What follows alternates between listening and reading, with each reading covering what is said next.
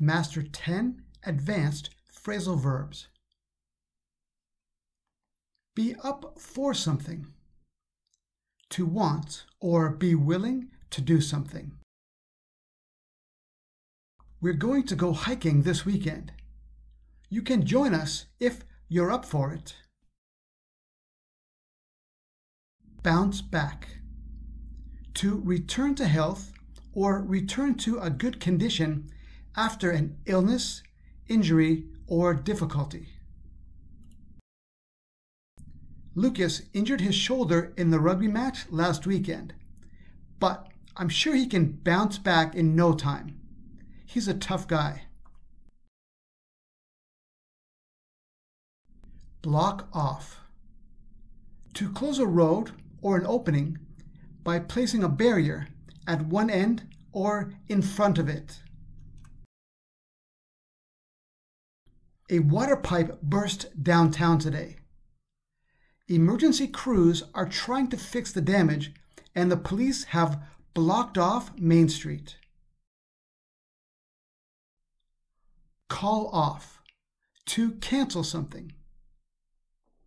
The boss called off the meeting today so we can all go home early. That's great. Come up with to find or make an answer, an amount of money, etc. I need to come up with another $200 if I want to buy that new moped. Crank out. To produce a lot of something quickly.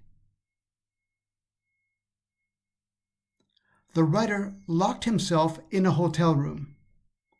His goal was to crank out 300 pages of his new book over the weekend. Just focus, no distractions. Freak out. To become, or cause someone else to become, very uncomfortable or excited. Try not to freak out, but I might be able to sell my company for $2.8 million. Isn't that amazing? Look something over.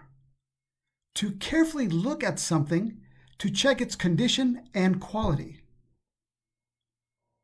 My friend Martin is a licensed mechanic, so I asked him to look the car over before I bought it. Ramp up to make something increase in amount.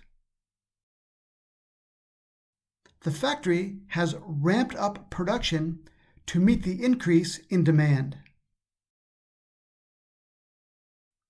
Stock up on. To buy or prepare many things for later use. The news says a big typhoon is coming in two days, so we better stock up on food and water now. Weed out. To remove or get rid of people or things from a group because they are not wanted or are not as good as the rest.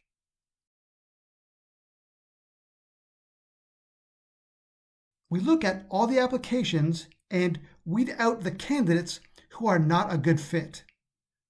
Then we interview.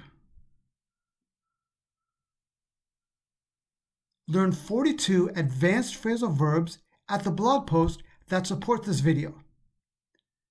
You will find a link in the description.